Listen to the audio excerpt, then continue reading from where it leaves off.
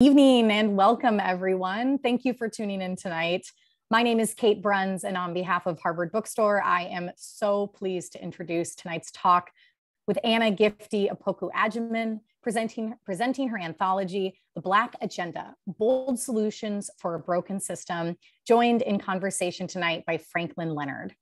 Through virtual events like tonight's, Harvard Bookstore continues to bring authors and their work to our ever expanding community. We host virtual events like tonight's five times a week. You can find our event schedule on our website at harvard.com slash events, where you can sign up for our email newsletter and browse our bookshelves from home. This evening's event is going to conclude with some time for your questions. If you would like to ask our speakers something, please go to the Q&A button at the bottom of the screen where you can submit a question at any point during the event. We're going to get through as many as time allows for. Also, if you would like closed captions, please click on the live transcript tab on your Zoom screen. In just a moment, I'm going to be posting the link to purchase tonight's featured book, The Black Agenda, in the chat box. Your book purchases make virtual author events like this possible, and they support the future of a landmark indie bookstore. So thank you for tuning in tonight. We sincerely appreciate your support now and always. And finally, as I'm sure you've experienced in virtual gatherings, technical issues can arise. And if they do, I'm going to do my best to resolve them quickly. So thank you for your patience and your understanding. And now I am so pleased to introduce tonight's speakers. Anna Gifty Opoku Agyeman is an award winning researcher, writer, and entrepreneur, currently studying public policy at the Harvard Kennedy School. In 2018, she co founded the Sadie Collective, the only nonprofit organization addressing the underrepresentation of Black women in economics, finance, and policy. Her advocacy, research, and commentary have been featured in NPR, Slate, Bloomberg, The New York Times, and several more. Tonight, she is joined in conversation by film and television producer, cultural commentator, and entrepreneur Franklin Leonard. Chosen as one of the Hollywood Reporter's 35 under 35, he's the founder and CEO of The Blacklist, a platform which celebrates and supports great screenwriting and the writers who do it. Tonight, they're going to be discussing The Black Agenda, a profound collection of essays featuring Black scholars and experts across economics, education, health, climate, and technology. It's been hailed as bold and unflinching and the first step towards defining Black expertise of the book, Ibram X. Kendi writes, this book will challenge what you think is possible by igniting long overdue conversations around how to enact lasting and meaningful change rooted in racial justice. We are thrilled to be hosting this event tonight. So without further ado, Anna and Franklin, the digital podium is yours. Uh, thank you so much, uh, Kate. Uh, you can tell how excited I am because I jumped the gun on, on uh, popping my, my video window open. Um, look, it's, it's, it's Friday. Uh, it's a good day, and it's in part a good day because I get to have this conversation sort of at the virtual version of my old stomping grounds uh, at Harvard Bookstore. Um, I, I want to hype Anna's book just a little bit more before we jump in. Um, if you haven't seen the Kirkus review, they said that it was an expansive set of essays highlighting the range and force of Black leadership, an inclusive, edifying, often fiery assembly of voices articulating the way forward for Black America and America in general. Um, and Publishers Weekly called it invigorating and said that policymakers will want to take note and let's, let's hope they do. Um, the last thing I will say about it is uh, if you need any additional confirmation of equality, forward by Tressie McMillan Cottom. Can't really do much better than that. So seriously, when they drop the link in the chat, get your book. I already got mine, um, and I'm very excited about it. Um, but before we start, how are you doing, Anna? I, I imagine this is like the first ever book tour. Like, where are we in that process? How are you feeling on this Friday? First of all, I really appreciate you um, asking me that question, by the way, and I'm so excited to be here with you. I, I it's you know, I don't know. I feel like still a student. I don't know, like there's students actually tuned in. So hi everyone who's a student. Um, like I had PSETs due, so I was just kind of doing my homework. Um, but at the same time, it's really exciting to see people engaging with this work and getting excited about Black voices and Black leadership. I think that has been the whole thing. And this morning, actually, two NPR interviews dropped, which I wasn't expecting as well. So it's like, I don't know, I oscillate between like like normal student life and like this new well, author thing that I'm navigating. Yeah. Okay, so this is the other thing that I want to talk about because you know you sort of hear the recitation of your your bio, and your resume. You yeah. Know, you were quite young, um, but and you're also like you know a PhD student at the Case School. Um, yeah. And I think that sort of the notion of like a PhD uh, sort of economist gets flattened and like what that means in terms of like where you yeah. have been to get there like it sort of disappears. It's like okay she's a young phenom economist who's going to like you know right. tell us how the world should work. Can you tell us tell everybody just a little bit of your story? Like where are you from? Yeah. where's your family from? Like yeah. and how did you end up a phd student at harvard? Well that story is very long and if you want a little bit more detail beyond what i'm going to share tonight please check out those two npr interviews um, and some upcoming interviews that are coming through as well. So, I mean, long story short, on my end, I'm Ghanaian American, though I would say I'm more first generation Ghanaian American. Though I was born in Ghana, I came when I was like three months, three months old, excuse me. So, my parents and my siblings and my extended family were from Ghana. But that being said, um, when I came to America, I was raised in Maryland and I was eligible for Head Start at a very young age we worked uh, in like a working low income neighborhood. Like I was eligible for that as a result. But what ended up happening was that at the very end of my time at Head Start, I was offered a very unique opportunity. The you know principal at the time of the private school in my area was like, "Hey, we have an opportunity to offer one student from Head Start a full ride to come to this private school," and I was the student that she selected. And so you can imagine how much of a catalyst that was, literally in my life. And so that being said, um, I I kind of got a front row seat in what economic and racial inequality looked like from a very very young age, and from then on, I, I think I've always tried to grapple with you know what does it mean to be in these sort of um, you know I would say uh, these gaps in terms of economic opportunity and educational opportunity, and how does race and and gender and all those things play a role into it. Um, so a little bit about me. I graduated from Glenelg Country School um, from high school, and then I also proceeded to the University of Maryland, Baltimore County, where I got my bachelor's in mathematics and minor in economics. And that was really after my pre-med years. We don't talk about that. It was a struggle. Um, organic chemistry really is the worst class. I can attest. Um, and then after that, I actually spent some time at Harvard right after graduation, working with the professor, Dr. Peter Q. Blair, and then moved on to work in policy and corporate, and then came back and applied to the PhD program at the Harvard Kennedy School, where I'm currently at. Oh, and, oh, and somewhere in between, I co-founded the Sadie Collective. Sorry. Uh, you, you anticipated my question. Can you please Thank walk you. people through the founding of the Sadie Collective and what that is? Yes, so the Sadie Collective is the first organization to actually center the perspectives and experiences of Black women in economics and related fields. And so the purpose of the entire organization is to equip Black women with sort of resources to be able to navigate the field of economics and related fields, which is notoriously white, notoriously male, notoriously privileged, and notoriously known for its gatekeeping. And I think several economists who are tuned in are not surprised by anything I'm saying because I've said it before. And so that's essentially what the Sadie Collective does. And we host conferences each year. Um, I'm currently now just the co-founder in name, but I was serving as CEO up until 2020 from 2018. And so that means that you founded it while you when I was 21. Okay, yes, yeah. Just, I was in yeah, college. I want to I want to yeah. let you brag a little bit and sort of put some oh, thanks. on the table. But I think contextual I think contextually it's important. The other thing I wanted to flag for people yeah. who don't already know that UMBC uh, has a ridiculous uh, math program, and and and and weirdly that's sort of why I know them, and also like a really strong chess team, if I'm not mistaken. Yes, yeah, we're nerds. yeah, exactly, and you're representing them well, I would say. Thank um, you. so why so i mean you, said you had a front row seat to this stuff but like why economics? It's it's it's easy to imagine other pivots from that like that sort of context. What was it specifically about economics as a field of study that sort of drew you in? Absolutely.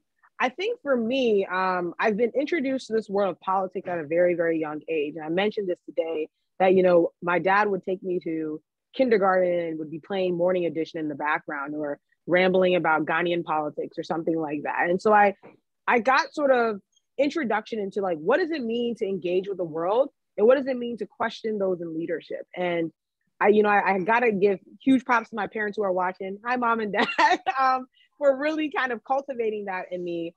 And so that being said, I think that economics, when I had the decision to like, okay, I want to combine something with STEM and social sciences, it seemed like the perfect marriage, right? This idea of using empirical analysis to ask questions about social problems and then, you know, using that empirical analysis to then inform those solutions. And I think that to me, it was like, oh, wait, this exists? Like, I thought, you know, like, I didn't know that this was a thing. And I found out about it when I was like 21, 22. Um, and what was funny about that was I, I grew up on TED Talks. I grew up on, you know, reading political news and The Daily Show in particular. And what I realized was that I've been watching economists my entire life, had absolutely no idea what they were though. I was like, are they like a riff off of lawyers? Should I go to law school? You know, I had no idea what they were. I mean, that's something I always tell people. I'm like, economics is like one of the best kept secrets. It's a really, really good job. Get paid a lot and people listen to you. So, I mean, like, why not do it? Right. And so that's something that has kind of led me to this point. Uh, you're doing a very good job as a spokesperson for the field as well. Oh, um, I hope so. So, so how did this book come about? Because again, it's one thing to say, okay, I'm an economist, I study these fields, but this is, you know, the Black agenda is a much broader, uh, absolutely more, more ambitious sort of uh, sort of inquiry.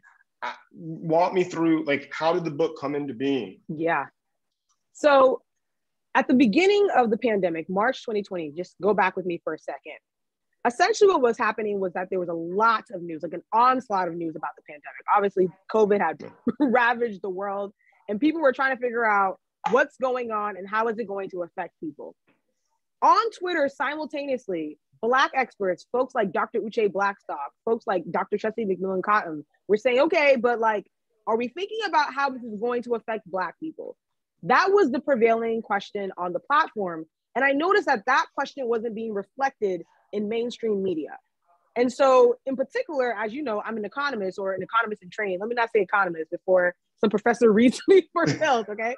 economist in training, right? Um, I asked the question, do black economists matter? Because it seems like unemployment is rising for black populations, but you're not talking to black people. And so there was one mainstream outlet in particular that seemed to have cited a bunch of economists in the month of the first month of the pandemic, but hadn't cited any black economists, which I was like, that we've been here before. Literally 2008 is why, you know, like we we ignored black economists and then we got 2008. And so right basically that led me to pen in um, an article called do, do, black economists matter and should we be listening to them and basically the conclusion was like obviously they do the data indicates that we should be listening to them. And it actually was shared by donna brazile who is former chair of the dnc and so that being said what ended up happening was on top of that i, I have a little bit of a platform right? You mentioned the sadie collective. There's certain things i've done in my own sort of short life that have gained me a little bit of recognition on Twitter. And so people see me and they're like, oh,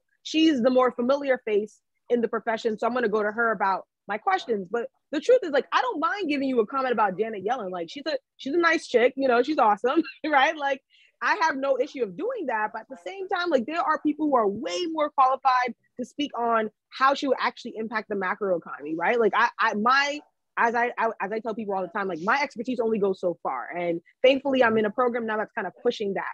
And so basically, that combined with the fact that people didn't seem to know where to look, um, led me to think about okay, what if we just created a platform for Black experts to just be in the mainstream? Like, I don't think we're, like people saying, I don't know where to look, I don't know where to look, and they're not finding solutions to that problem. Why not just create the solution? And so the way I thought about it, and I pitched this to my literary agent, I said, Leela, look, I think that if we put all these Black experts into one book and we push the book as far as we possibly can, these individuals are going to be talked about in the mainstream. And just to give you an example of what I mean by that today, as I mentioned before, I was on NPR and I was talking about Dr. Lauren Mims, her research with, you know, Black girl brilliance and how do we center Black girls in the classroom. Apparently, several people reached out to her saying, I heard about you on NPR, I heard about your work. That's exactly what I'm talking about. And that's why this book exists. So I, I read somewhere, it might have been Twitter, uh, and okay. if you're not following Anna on Twitter, but I highly recommend it, by the way, that you sort of viewed yourself at, like in the editor role as the DJ for this book. um, yes. which, which was actually a really interesting analogy that I don't think I've ever heard for an editor of an anthology, but track for me, both knowing sort of the impetus behind it, but also sort of how it turned out. And hoping you can take us a, through your process a little bit on putting together this sort of proverbial yeah. playlist. Because I think that w- another I one of the interesting that. things about the book is how much the essays are, are in, not directly, but very much in conversation with each other about, yes. you know, and often intention about a right. broader, you know, Black agenda. Absolutely. One thing I want to note for everybody who's listening is that nobody in the book talked to each other before they wrote their essay, aside from those who co authored their essay, of course, right? Which I think is interesting because despite the fact that they didn't talk to each other, it's almost as if you're sitting at a round table with a bunch of experts and they're riffing off of each other. So the process of finding these Black experts was pretty organic. Um, you mentioned to me, you know, how did I think about including all these different topics?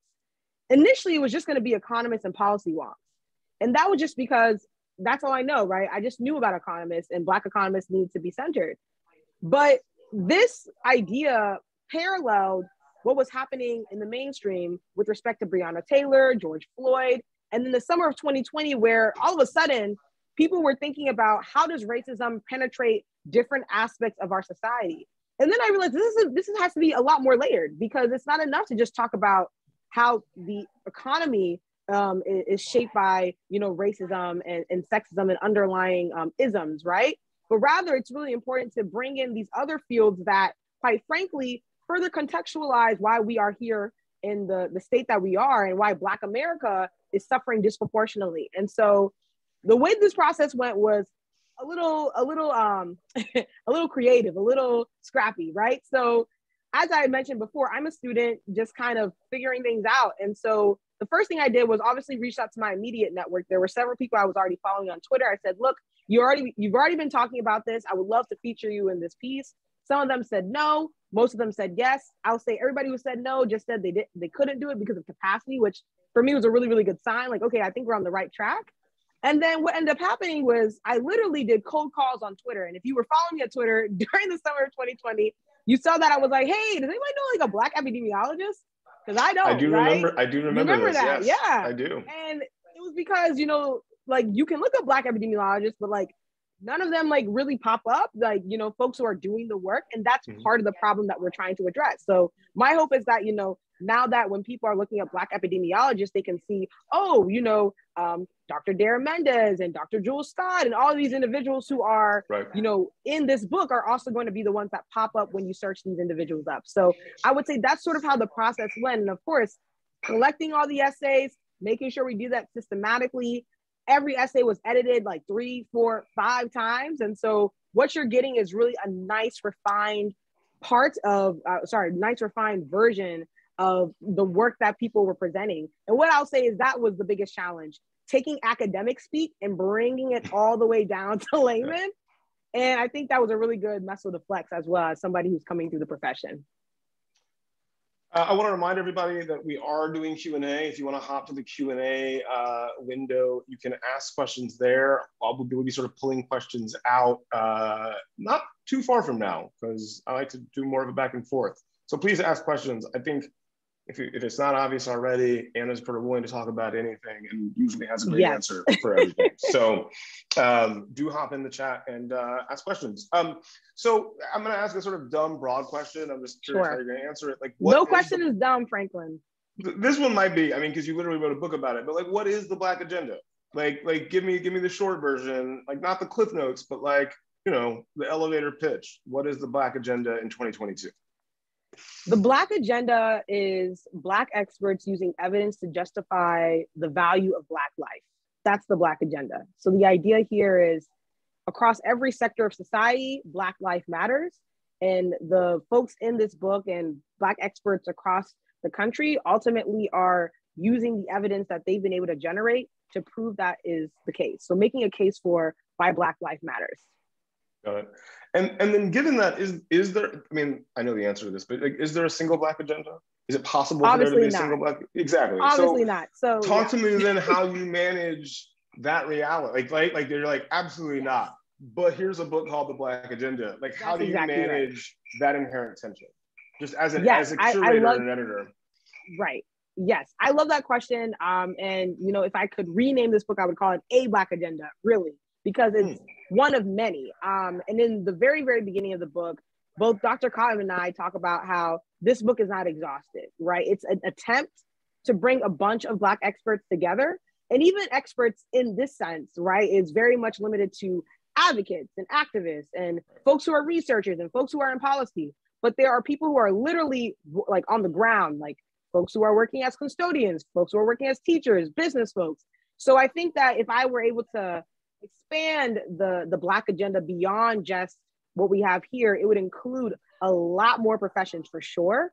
Um, and I will say really quickly that the National Urban League actually releases a report every single year that kind of does this. So this is kind of an iteration of that, but for the mainstream and for trade audiences. What does it look like if the black if, if we succeed?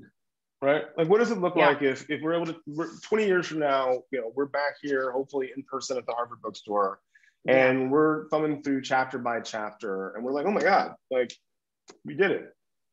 What, right. what is that? I mean, I, have been a black man in America for 43 years. That's more yes. hope than expectation. But let's imagine for a moment that that ha- like what what what does the world look like in your mind? Yeah, I really like this question as well, and I think that when you think about even the Black agenda essays and how they're constructed, every single essay ends with what this world could look like or what this country could look like if Black life is fully realized and fully dignified. And so that would be the first thing that Black life is dignified and honored. And it's not, a, it's, it, you know, being Black is not criminalized in America. That's the one thing that I would say is a common thread through every single essay in this book. You see that criminal justice pops up again and again and again. And it's because Black life at this moment, it's, it's kind of, it's illegal to be Black right now, right? right? Like if you're, if you're Black and you're walking around, you could get shot, you could get harassed, you could get harmed and the system wouldn't really check it, right? And so right. I think if we were to say what would progress look like 20 years from now, I want to be able to be a black person just walking around, minding my business. Nobody's talking about, oh, da, da, da, you know what I'm saying? Like, I think it's just yep. black people being able to exist freely and having the full benefit of that while systems are also calibrated to ensure that black life is protected and sustained. That's what I think the next 20 years would look like. And if I were to be more specific, that would mean, you know, healthcare disparities are eliminated. We have a more diverse workforce that's reflected both in healthcare and in other places. Disabled folks and folks who are, you know, differently abled are being accustomed to, and it's not like an afterthought, right? Um, we're thinking about climate, right? The climate justice movement isn't just sort of this trend, it's actually part of literal policy that informs how we think about different decisions with respect to our economy, with respect to businesses and jobs and that sort of thing. And so I think that that is that is ultimately what I would see in terms of 20 years and this working out. If all all the ideas or even some of these ideas are implemented, I can see that Black life would be fully realized in this country. I mean, it's interesting. You talk about all these things that, that in a vacuum are not necessarily explicitly parts of what a lot of people I think would assume as a Black agenda, right? Climate, climate justice, uh, you know, disability, yeah. visibility, uh, accessibility, and rights. Um, I would probably add LGBTQ plus rights in that category. Yes, absolutely. Um, it's almost as if what you're saying is is that by by fully recognizing Black life, and doing so successfully, we accomplish all these other things that are profoundly beneficial to a lot of people who aren't Black. Yeah. Am, am, I putting? I don't, I, want, would, I don't want to put words in your mouth. Oh no, no, like that's exactly right. That's exactly right. The way I would phrase it is the best outcome for Black people is a better outcome for everyone else. And if you think about there's, these essays, there's the quote right there. These essays say outcome for Black people in climate, the best outcome for Black people in health, the best outcome for Black people elsewhere, yields better outcomes for literally everyone else. And so if we think about, for example, um, you know, Dr. Monica McLemore's essay around medical, um, the medical uh, field's hierarchy where doctors are prioritized over nurses. That affects everybody.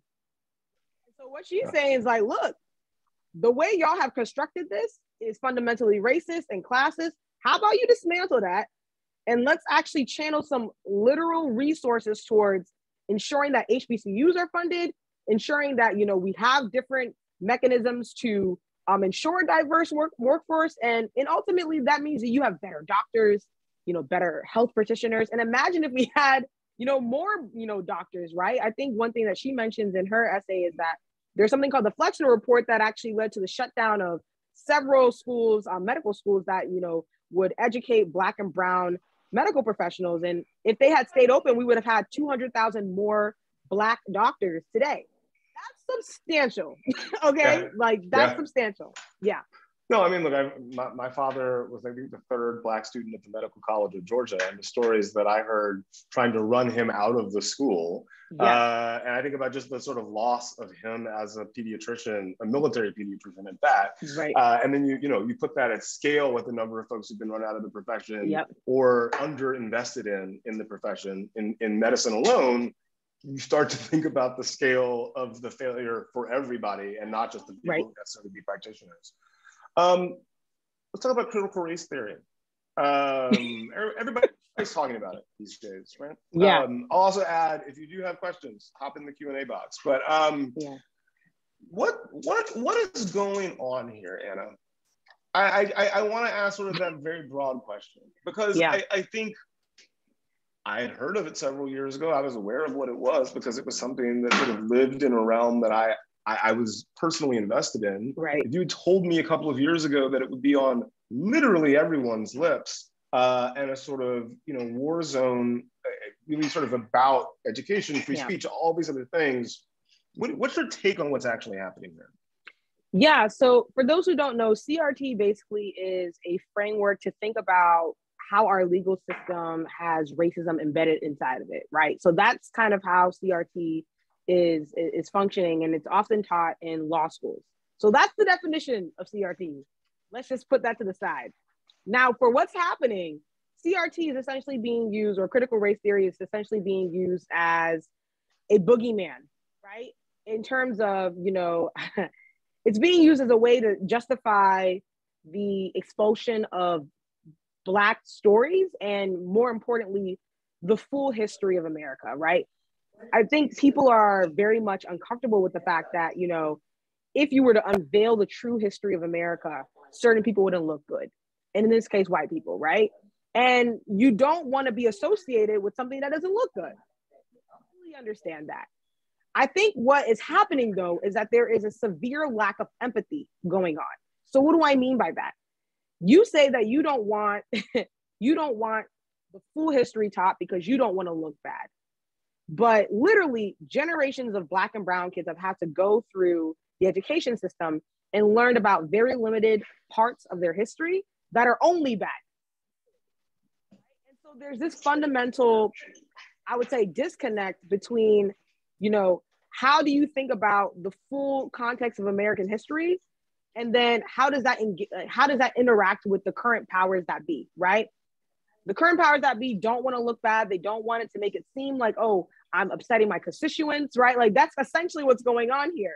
But the truth of the matter is that we cannot move forward if we don't grapple with the past. And that's something that we need to do honestly. And that's why folks like Nikole Hannah-Jones and, and Kimberly, um, Kimberly um, Crenshaw, these individuals who have been, in my opinion, sort of uh, pioneers in how we think about these questions. Like they have they have to be at the center of the conversation, which goes back to the ethos of the Black agenda, bringing Black experts to the center of the conversation. Uh, how's the how's the Harvard thing going for you so far? You mean like school? I mean like school. Like what's it like to be a Harvard student? It's been a long time since yeah. I was. So like what? But like how's that? How's that going?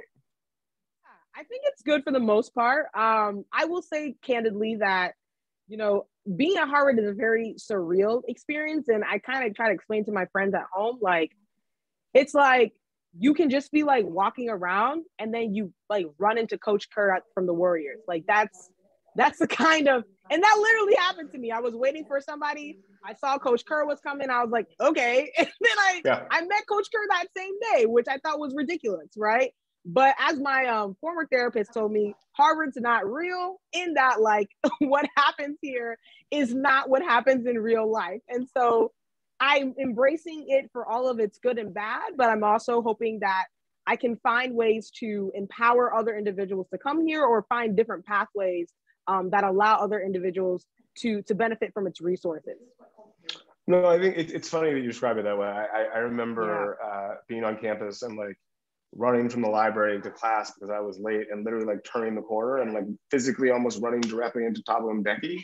Um, wow. who was like on campus for a speech. And you just have those moments where you're like, what is oh, happening? Right. That's, yeah. that's just real life. But, but I also think, you know, there will be people sort of walking around campus being like, oh, there, there's that woman that, that, that, that edited that book, oh, The Black Agenda. Oh, no. It'll happen. Give it time. Um, I, am going to bounce to, to one of the questions from Danielle. What was your favorite part about the process of bringing this book to life?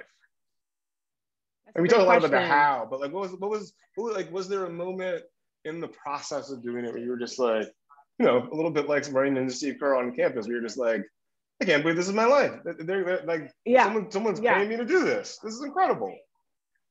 Um, well, first of all, any moment the experts turn things on time was a great moment. So let's just start there. Um, but I'd say the moment that for me, I was like, wow, like I think what we did here is bigger than what I thought was I when I actually got to read the book as a reader, right? So I like as of right now, I've been reading the book and editing the essays and thinking about them from more of a critical perspective. But having the book in front of me and being like, oh wow, like this is a real thing.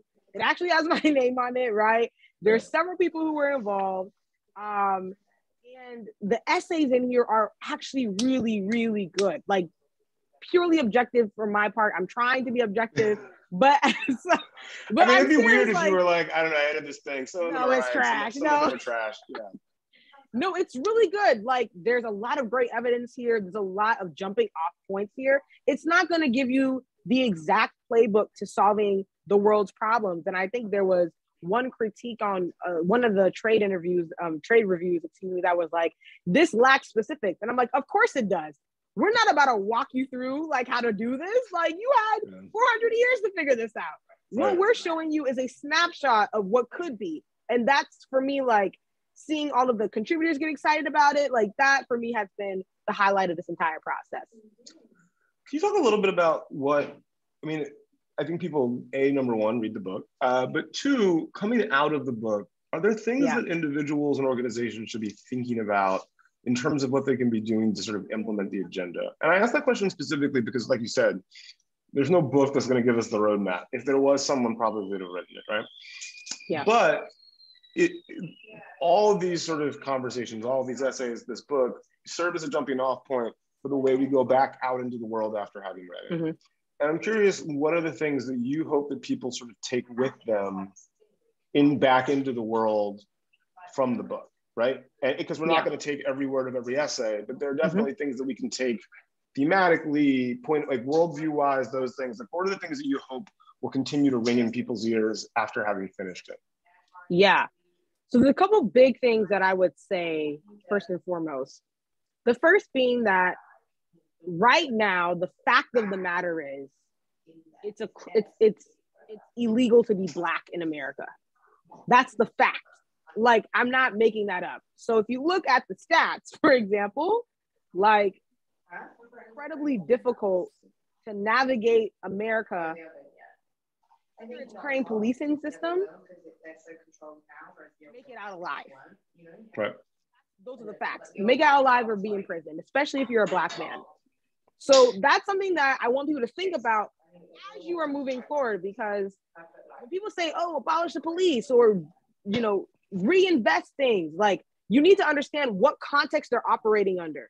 There's a difference between studying racial inequality and living through it. And I think a lot of times the people who are talking about racial inequality oftentimes sit in the former. And so it's not enough to do that. You have to understand that there are individuals who sit in the former and the latter, and they have a lived experience that is further justifying the evidence that they're hoping to find. So that's one thing I will say. The second thing is that we've been talking quite a bit about climate in the mainstream, in the public discourse. And I think there's an essay titled by Mary Annaïse Heglar where she talks about Stop All Lives Mattering the Climate Crisis. I 100% agreed. She actually might have the only title in the essay that I did not tweak. I didn't touch that from the moment she submitted it because it was super succinct. Yeah. The idea here is that like Earth Day, we're going to talk about the Earth, but we're not going to talk about how Black and Brown people are being disproportionately affected by climate on the Earth, right? That's that's safe for Juneteenth. Why are you trying right. to silo these issues, right? They're very much integrated. They're very much related. Um, and that, you know, that space in particular needs to spend quite a bit of time reflecting and seeing why is your entire employee list 40 shades of beige?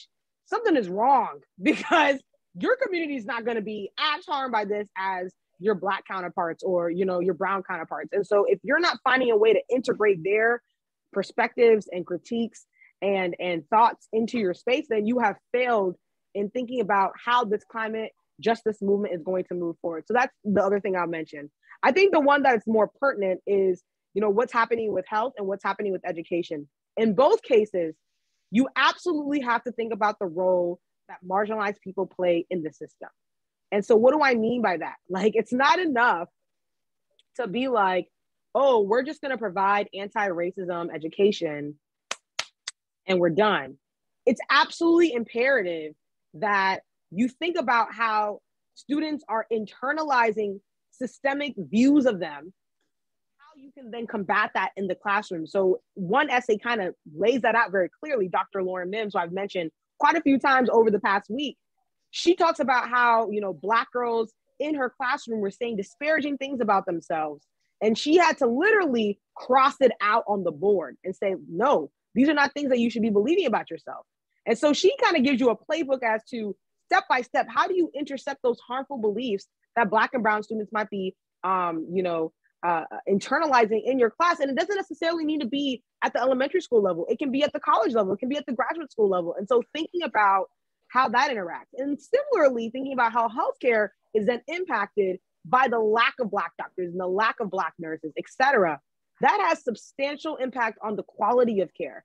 And so Dara Mendez and um, Jules Scott talk about, you know, we need a new praxis of how we think about healthcare. It cannot be siloed from economic justice. It cannot be siloed from criminal justice. There needs to be some way to think about it um, that is holistic and ultimately encompassing of different aspects of society. And the last thing I'll say, just in the context of what has recently happened, um, as many people know, Miss USA recently committed suicide. And I don't mean to be a trigger for anybody.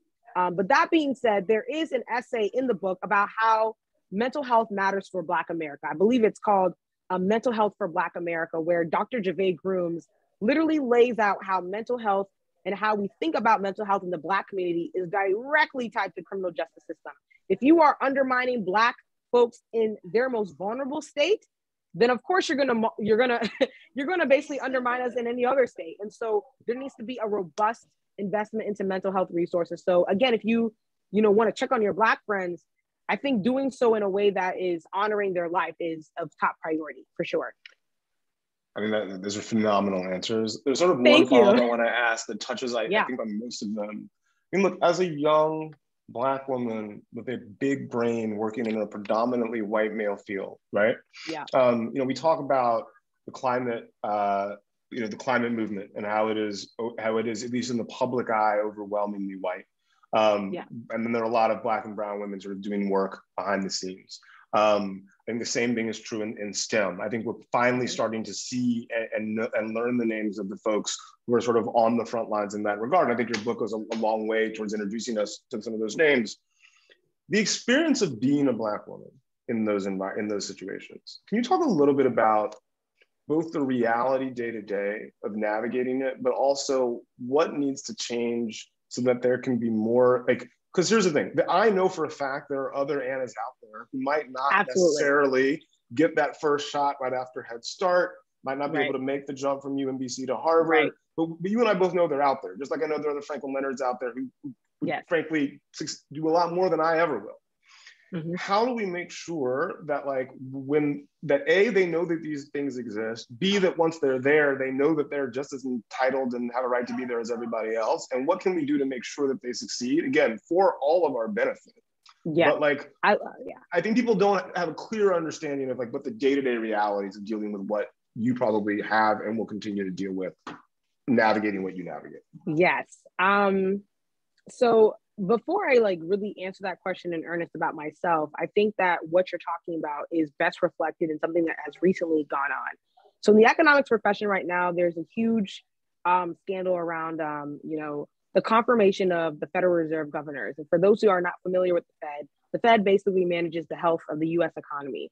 And so currently, Biden has nominated two Black individuals and um, one white woman. And the two Black individuals, one of them is called Dr. Lisa D. Cook. She's actually my my very dear friend, sister from another mister, mentor, teacher, all those things. And so one thing that's come up with her is that many people are questioning her competence. Of course. And I think that is the day-to-day reality. So I can be doing all of these things. And somebody will go somewhere and say, well, Anna only got here because of X. Or Anna only did this because of X. I'm pretty sure there's people who I go to school with who think the only reason I got into Harvard was because I co-founded the Sadie Collective. Like that was one box on my application, and all I had to do was check it, and then they say you're in. And I think what people don't recognize is that Black folks in particular have to work twice, thrice, quadruple times as much as as white folks and, and other and other folks from even other marginalized identities. And I think that it's because people assume, and I think Dr. Ibram Kendi even illustrated this very beautifully on Twitter recently. People assume incompetence is our default. And right. so when you assume that, I have to work now twice as hard to prove that, first of all, I am competent, and then to then prove that I am competent to you. That is a lot of work, right? I remember when we were putting this book together, and I kind of told the team, I said, look, this book is black. Black, black. I mean, I'm a black person. The person who's doing the forward is a black person. The people in the book are black people. That being said, like the room for error is really, really small because people are going to already assume a baseline incompetence about even the individual in the book say well i didn't think their evidence was strong enough and i didn't think da da da da da. And i think that for me that's the day to day right? Like people just not thinking that i'm enough and people not thinking that i can show up in spaces and and be myself and and be all that is. And i think the other thing too that i grapple quite a bit with when you are someone like me, and I don't like to say it like that, but it's like mm-hmm. you have a platform, you have a book, right? Like people then want to tokenize you and say, well, you're the only example of Black excellence in this right. space. There is no other Anna. Right. There is no. And so when I first entered the field of economics, I came in swinging, as you know. And, you know, I was like, look, I'm excited that you guys are excited about me being in the field. But guess what? My whole crew is coming the co-founding of the Sadie Collective. Now you got thousands of Black women who I won't say are like similar to me in any way. They're unique in their own way, but they're bringing their own type of brilliance to the field. And that has absolutely nothing to do with me per se, in that I am not, um, I am not sort of the, the prototype for what Black excellence looks like in a particular field. And I think that my biggest gripe with folks who are, you know, maybe a little bit more established, a little bit older, is that folks sometimes become gatekeepers of who gets to be black in a certain field or who gets to be black and excellent in a certain field meaning that like it's like we have a limited number of spots all around the table and i've allocated these spots to these types of people. My whole philosophy and i think i i align greatly with gen z on that is i'm taking a sledgehammer and i'm breaking the table. Why we why do we even have a table here in the first place? Right. the table is limiting. why can't we use a whole room right? This idea of like having inclusive excellence go beyond just a couple seats, right? Like that for me is the biggest thing. Um, and so to your point about creating those pathways, I think for me personally, I am interested in doing research around that. Like, how do we get Black and Brown people into organizations and do it in a way that, you know, if you're being racist, it's completely obvious. And I can point to, I'd be like, oh, the evidence right. says that behavior is racist, right? right? Um, but on the tail end of that, and what we've done to the Sadie Collective is literally create outside of those existing systems. And I think you you're very familiar with this with the back, blacklist, excuse yeah. me, right? Where it's like you're creating something that is forcing your hand. Like I have all the black women. Now what are you gonna do? Right. There's a book of black experts. Now what are you gonna do? And all of a sudden you have to grapple with am I biased? Or do I have to like give in and showcase right. black people?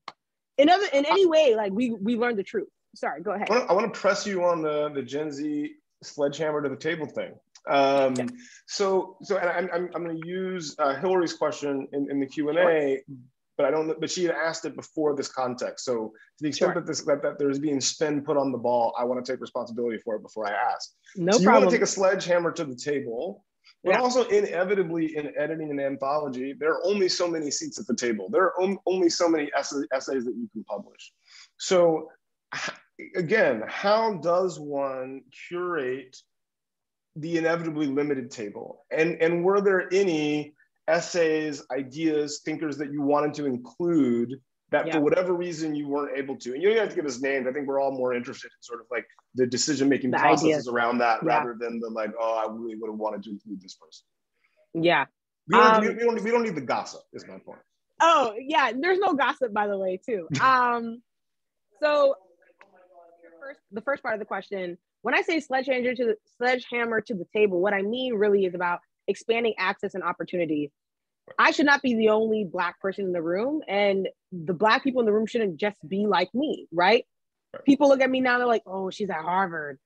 Okay, but like at the end of the day, I don't care. You know what I'm saying? Like I'm trying to bring in people no, who exactly are at Morgan saying. State. You know what I'm saying? Like yeah. like we all black and we all doing really awesome stuff and i think that creating the space for that is is incumbent on me as the most privileged black person in the room given my proximity to privilege. And so that's kind of what i was getting at with that. To your point about which i would have wanted to include i really really would have wanted to conclude um include excuse me people who are just working right now. Um working in the sense that you know they work a nine to five they're teachers they're custodians they're people who are running businesses. I would have wanted a business and entrepreneurship station um, excuse me section. I would have wanted more k to 12 teachers like actual teachers in the education section because i know we're hearing from researchers who have looked at the evidence mm. but there is also anecdotal evidence that is being gathered on the ground. Um, and here's where i'm going to plug in abbott elementary because it's a really, really good show yes. by Quinta Brunson. Promote, I, yes, let's let's use every opportunity we can to promote. Yes, it's really, it's really, really show. good. I'll let you take it over, but yes, everybody yes. watch Abbott Elementary. Quinta Brunson's amazing. The show is hilarious. Yes, please watch this yes. show. Take, yes. continue. Thank you. Um, and for those who don't know, Quinta Brunson put the show together based on her own experience within the Philadelphia educational system, where she now plays a uh, teacher. She's I, I, think she's teaching first grade or second grade. Um, but basically, it's a it's a comedy, but it's also a documentary, quite frankly. So that being said, I encourage people who are interested in like educational inequality to definitely check out that show for sure. Even even um, if you even if you don't care about educational inequality at all, if you just want to laugh for a half an hour, watch Abbott Elementary. We're just gonna we're just please, gonna use this please. minute it's to like really good. show for the show. um, and so that being said, I think that there there are people who are are on the ground that I really really would have would have wanted to include. I would have definitely wanted to include more activists and advocates, and so that's what led me then to say, man, there's so many people I would have included. I have limited capacity and limited time. What I'm instead going to do is curate a recommended reading list that encompasses some of those voices that would have you know filled in these different gaps so for example you know people were asking me like where are the creatives i said i know i know there was an essay that i want to include that talked about women in hip hop and politics, and I really wanted to find a place for it, and I couldn't. But that being said, you should check out Black Futures, which includes a bunch of Black creatives, and they're expressing sort of these political um, views through art. And so that's kind of what I mean by making space, right? I could have gotten away with having no recommended reading, being like, this is all you need to read. But I think that that's exactly kind of the ethos of what we were talking about before, where it's it's not just me. There's actually quite a few people here. I highlighted the people that you probably might have heard of, um, but there's definitely a lot of people you haven't heard of, and the, and the experts in this book also have their own book, um, own books and own publications that you should absolutely check out as well. So yeah, that's that's the answer to that question. No, I think that's a great that's a great answer. And just to you know default to my Hollywood sort of training, sequels, Black Agenda Two, the, that's when you hit up all of the sort of workaday people, and it's a whole new spin on uh, mm. on, on, on on the content. Um, next question, it's either Isa or Isa, I'm not sure, I apologize. Um, but our democracy is in peril between the assault on voting rights and gerrymandering yep. and erosion of truth yep. in public discourse. How yep. optimistic are you about whether you will see the ideas in your book become policy? The critical can we question. I think we can. Here's why. When you read the essays in this book, you will kind of take a step back and be like, why aren't we already doing this? Because they're practical, right? Like the solutions are very practical. So even with respect to voting rights, it's really comes down to the passage of you know two acts, right? I think Cliff Albright, who's the the, the co-founder of Black Voter Matter, vote, vote Black Voters Matter, excuse me, um, kind of talks about this, where it's you know the John Lewis Act to sort of think about how voting rights is integrated into um, society, and it's like the Freedom to Vote Act, right, protecting Black voters as they go to the ballot. But I think the other thing to recognize too is that voting rights ultimately is a catalyst for all the other solutions that are in the book. If Black people can't get to the ballot, then they can't vote about climate, they can't vote about wellness, they can't vote about education, they can't vote about gerrymandering. You know what I'm saying? Like they can't vote about all these different things that ultimately contribute to the injustices that are committed against Black people in this country. And so I love the way that Cliff talked about it. He says voting rights have always been a Black American struggle. And I'm going to go ahead and push that even further and say that I was talking to Dr. Keisha Blain in Detroit earlier this week about this. Black Americans have given Black people globally the blueprint to how to fight for civil rights. And so, very much what I believe is that a Black person who is in America, but not necessarily a descendant of an enslaved individual, what I will say is that I have to empower those who are the legacy of those individuals to have their rights because ultimately their rights serve as a blueprint for how we can advocate for rights in Ghana, how we can advocate for rights in South Africa or the Caribbean. And so I think the idea here is that my hope is that voting rights can be sort of the, the catalyst that sets everything off. We saw very clearly that if you have enough Black people voting, yeah, blue. I mean, that, and I think that's why, and, I, and that's why voting rights are the, the, sort of front line right now, because right. that has the potential to turn a lot of other things. It's funny you actually anticipated the follow-up question here, which was, how, if you had to prioritize components of the agenda, what would you, what changes would you like to see first? And I agree with you that voting rights is sort of is, yeah. is probably the most critical. Up, upmost, yeah. So I think we have like three or four minutes left. We are already wow. what that went by so hour. fast. I mean, that, that's what we that's what we aspired towards. I know, in right? Our, in our Q and A's, right? Um, so if anybody has any additional questions, now would be the time to put them in the chat. Um, I'm gonna ask one uh, sort of sort of last question, and then if there's anybody that has an amazing question in the chat, we'll use that as the final one. But like, what's next for you, Anna? I know you're gonna go back to school. um, you have problem sets probably due next Friday. Yes, but like, that's what is but like as you think about your future what yeah. what what excites you? And i don't mean about the world. I mean specifically about the stuff that you're going to do and that can be professional or yeah i think one of the biggest things i want to do and we've been talking about this is finding ways to celebrate and center black people in art and doing that as an extension of the work that i've been you know putting out there in more of the academic and policy realm. Um, I'm working right now with one of my friends, Lexi Robinson, to find a way to continue the legacy of this book in a very tangible way, right? How do we actually get resources to Black experts who are trying to do this work and trying to push forth these bold solutions? So I think for me, that's like in the immediate in the immediate future, like what I would want to do. Um, obviously, problem sets, like clearly, I know PhD students probably laugh at that. I mean, I got a metrics piece set due like I, on Friday. Next here, here's what I'll say about this though. I miss problem sets there is a there's a there's a, a lovely thing about sort of being a student and having problem sets where like you do it and you finish it and you send it off and you're done right? Yeah. and you get a grade and yeah. that's it. And if there was a version of that i guess that's like email for me now yeah. as an adult uh, sort of in the working world. But yeah if i if i could have some problem sets i'd be very happy about that. Right. yeah.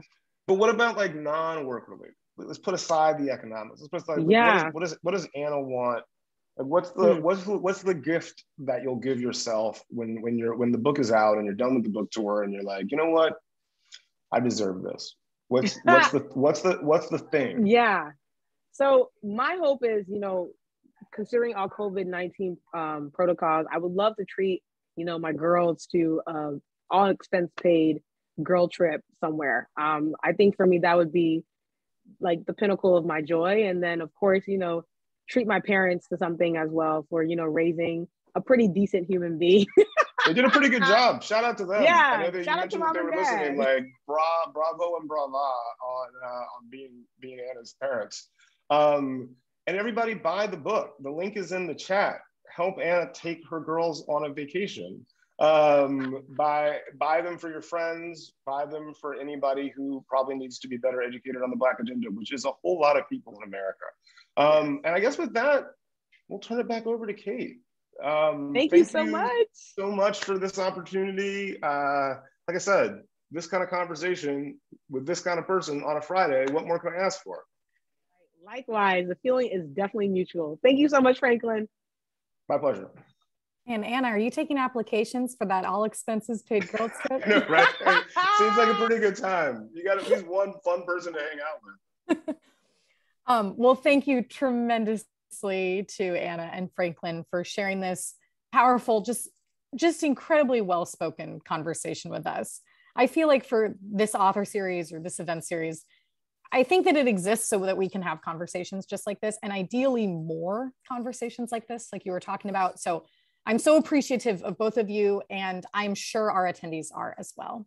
Um, thank you to all of you out there for spending your evening with us. So, on behalf of Harvard Book Store, have a great night, keep reading, and please be well. Thank you.